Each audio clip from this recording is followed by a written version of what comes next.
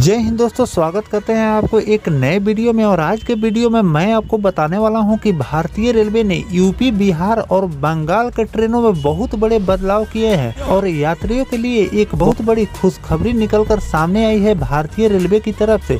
तो भारतीय रेलवे ने किन किन ट्रेनों में बड़े बदलाव किए हैं? और इन बदलाव से यात्रियों को क्या फ़ायदा होने वाला है? और किन किन ट्रेनों में ये बड़े बदलाव किए गए हैं? तो सारी जानकारी मैं आपको इस वीडियो के अंदर देने वाला हूँ। तो दोस्तों, अगर आप चैनल पर नए हैं तो चैनल को सब्सक्राइब कर लीजिए। और वीडियो अच्छा लगे तो वीडियो को लाइक ज़रूर कर दीजिएगा। चलिए इस डिटेल वीडियो को शुरू करते हैं। दोस्तों, भारतीय रेलवे इस साल यानी कि 2024 में हर रूट पर नई नई ट्रेनों का संचालन लगातार करती जा रही है। ट्रेन में भीड़ बढ़ने के कारण हर रूट पर भारतीय रेलवे नई नई ट्रेनों का संचालन कर रही है। इसमें आपको कई स्पेशल ट्रेनों का भी भारतीय रेलवे ने संचालन किया। स्पेशल ट्रेनों का भारतीय रेलवे ने फेरे भी बढ़ा दिए हैं, जिससे लोगों को काफ़ी सहूलियत मिल रही है।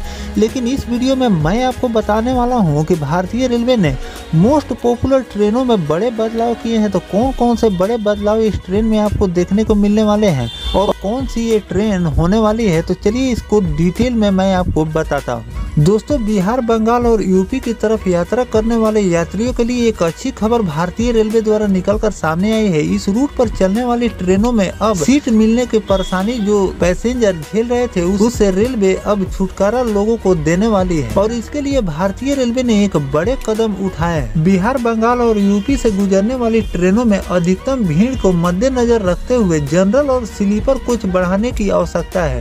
भीड़ को लेकर रेलवे बोर्ड भी मॉनिटरिंग कर रही है। देखा गया है कि जनरल और स्लीपर कोच में यात्रियों की इतनी भीड़ हो रही है कि एसी कोच में भी लोग अपना कब्जा जमा लेते हैं। ऐसे में वीआईपी यात्रियों को परेशानी होने लगती है। इसको लेकर बिहार संपर्क क्रांति, पूर्विया एक्सप्रेस सहित पूर्व मध्य रेलवे के पंद्रह ट्रेनों में स्लीपर और जनरल कोच बढ़ाने के आदेश दिए गए रेलवे बोर्ड द्वारा अधिक भीड़ होने वाली ट्रेनों की सूची पूर्व मध्य रेलवे के सारे मंडलों में, सारे मंडलों से मांगी गई है। रेलवे बोर्ड में भेजे गए पत्र के अनुसार मंडल स्तर से रेल मुख्यालय भेजा गया। वहाँ से फिर रेलवे बोर्ड को भेजा गया। रेलवे बोर्ड के आदेश पर दरभंगा से नई दिल्ली जाने वाली एक पच्चीस पैंसठ और एक पच्चीस छियासठ बिहार संपर्क क्रांति एक्सप्रेस, सहरसा से आनंद बिहार जाने वाली एक बावन उनासी और एक बावन अस्सी पूर्विया एक्सप्रेस में थर्ड एसी के कुछ बोगी को हटाकर कुछ जनरल बोगी इसमें लगाए जाएँगे। दिवाली और छठ को लेकर ट्रेनों में सीट अभी से ही फुल होने लगी है। कई एक्सप्रेस और सुपर फास्ट ट्रेनों में वेटिंग की लिस्ट बढ़ती जा रही है। इसी बीच कोच बढ़ाने की खबर यात्रियों के लिए एक बहुत बड़ी राहत भरी खबर भारतीय रेलवे द्वारा निकल कर सामने आई है। और जो भारतीय रेलवे एसी कोच ट्रेनों में से कम कर रही है और जनरल के कोच भारतीय रेलवे लगातार कई ट्रेनों में बढ़ा रही है। इसे आने वाले दिनों में जो छठ दिवाली का पर्व आने वाला है। इससे लोगों को काफ़ी ज़्यादा सहूलियत और फ़ायदा मिलने वाला है।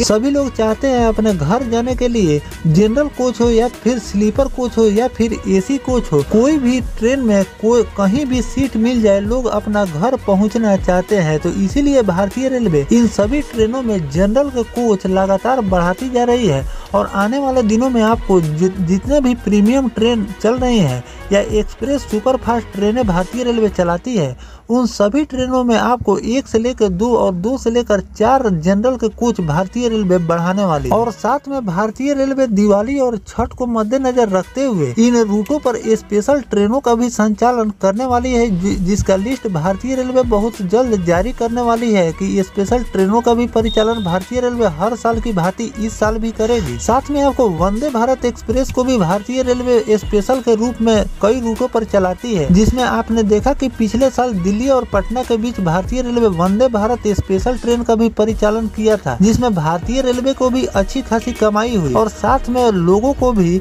एक प्रीमियम ट्रेन में सफ़र करने का मौका भी मिला। पहली बार इस वंदे भारत यानी कि चेयर कार वाली वंदे भारत एक्सप्रेस को 1000 किलोमीटर के दायरे पर भारतीय रेलवे ने चलाई थी और इसमें भी अच्छी खासी कमाई भारतीय रेलवे को भी हुई। और इस रूट पर वंदे भारत के परिचालन को लेकर काफ़ी लोग खुश भी थे कि इस रूट पर भारतीय रेलवे ने वंदे भारत का परिचालन किया और लोगों को वंदे भारत में सफ़र करने का एक एक मौका मिला। तो ऐसी बात नहीं है कि भारतीय रेलवे ने पिछले साल वंदे भारत का परिचालन किया और इस साल नहीं करेगी। ऐसी बात नहीं है। भारतीय रेलवे फिर से इस रूट पर वंदे भारत का परिचालन करने वाली है। जो कि आने वाले रिपोर्ट भारतीय रेलवे द्वारा निकल कर सामने आएँगे तो मैं आपको फिर से बताने का प्रयास करूँगा। फ़िलहाल यात्रियों के सहूलियत के लिए भारतीय रेलवे जो भी एक्सप्रेस और सुपर फास्ट ट्रेन और प्रीमियम ट्रेनें अभी चल रही है, उसमें लगातार भारतीय रेलवे जनरल के कोच बढ़ाती जा रही है।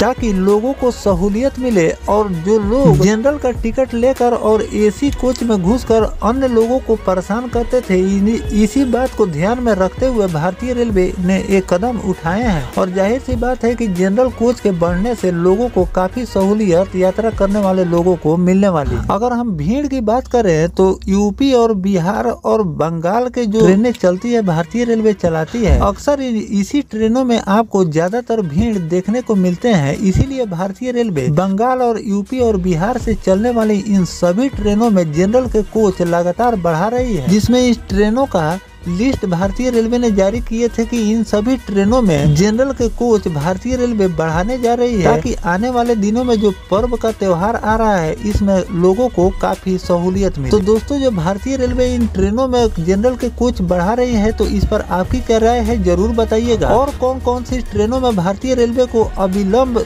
जनरल के कोच बढ़ाने चाहिए, ये भी कमेंट करके ज़रूर बताइएगा। और किसी मशहूर ट्रेनों में भारतीय रेलवे जनरल के कोच बढ़ाएगी और उसका जानकारी मेरे पास आएगा तो वो भी मैं आपको देने का प्रयास करूँगा। फ़िलहाल दोस्तों, ये जानकारी आपको कैसा लगा कमेंट सेक्शन में ज़रूर बताइएगा। मिलते हैं किसी नेक्स्ट टॉपिक कोई नई जानकारी के साथ। तब तक अपने भाई को दीजिए इजाज़त। जय हिंद, जय भारत, वंदे मातरम।